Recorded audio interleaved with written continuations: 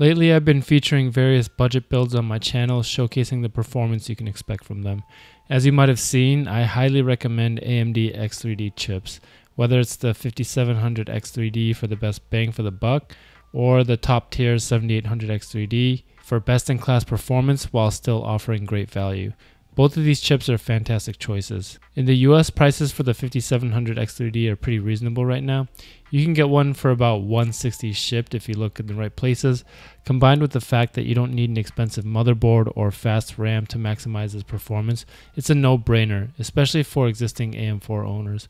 However, many of my international viewers from South America and Europe have mentioned that the 5700 X3D costs almost twice as much for them, making it a much less attractive option. As a result, many people are considering the 7500F as an alternative. It's on the AM5 platform and uses DDR5, which allows for future upgrades to a 7800 X3D or even a 9800 X3D without needing to change platforms. Recently, I built a 7500F system on an A520 motherboard with an RX 7600. For comparison, I also built a system using a 5600 x with a 3060. The 5600X and 7500F are priced similarly in most countries, and many are wondering if it's worth upgrading to AM5 for the 7500F. For reference, all the vanilla Ryzen 5000 chips will perform similarly in Tarkov, so this comparison is relevant even if you have a 5700X, 5800X, 5900X, 5950, any of the vanilla 5000s.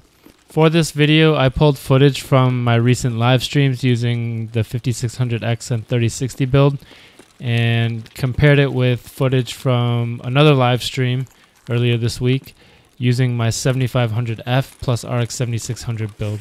These two GPUs are in approximately the same price range, with the RX 7600 generally considered a slightly better GPU than the 3060, depending on where you stand. They're they're pretty equal though. They're both really good in 1080 and perform well in 1440 with DLSS or FSR. In Tarkov, the bottleneck is primarily on the CPU side anyways. The big question for most people is how's the performance on Streets of Tarkov? As there are a lot of chips that can perform pretty well, like up to 100 FPS or more on all the other maps, Streets of Tarkov is the real test, I would say. So here's side-by-side footage of these systems. Please note that the footage is pulled from my live stream recordings like I said earlier.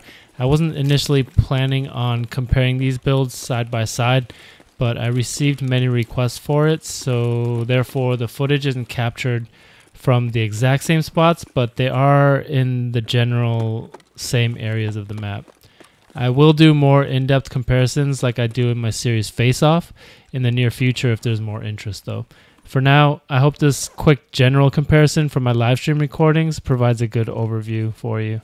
Personally, I don't think it's worth moving up to a 7500F just because it's on AM5 and DDR5 if you're on a vanilla Ryzen 5000 right now.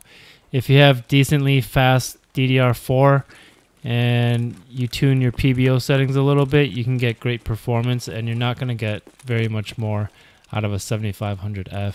So I'd only recommend spending some of your hard-earned money if you're going to be able to get a 5700X3D. I wouldn't go to a 7500F from an existing vanilla Ryzen 5000 setup. If you're curious about the performance difference between an AM4 X3D chip and the 7500F, I've linked my 5800X3D versus 7500F video in the upper right hand corner. Feel free to check it out. I also have a comparison of the 5800X3D versus the 5700X3D. The TLDR is that they're essentially equal in Tarkov performance, so the 5700X3D is the better choice for its lower cost. I hope this quick comparison was helpful for you. If it was, please quick scope the like button using an MP18 with the Pilad scope.